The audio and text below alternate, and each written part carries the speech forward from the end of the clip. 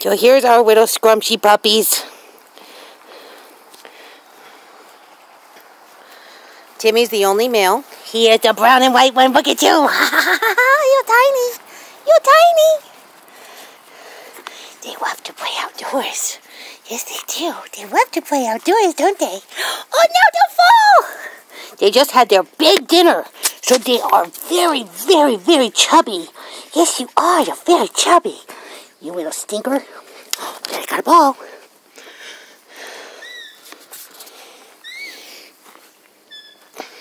Hey!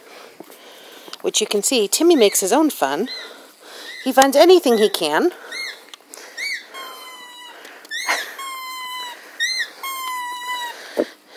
These guys weigh about, right now, about a pound and a half to two pounds tops. I guess depending on how much they've eaten that day. And again, Timmy's the only male. He is definitely mischievous. He loves toys. Loves toys.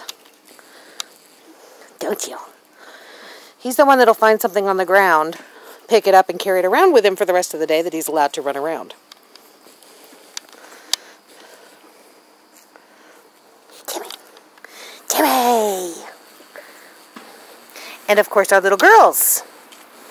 Or the little twins, as I call them.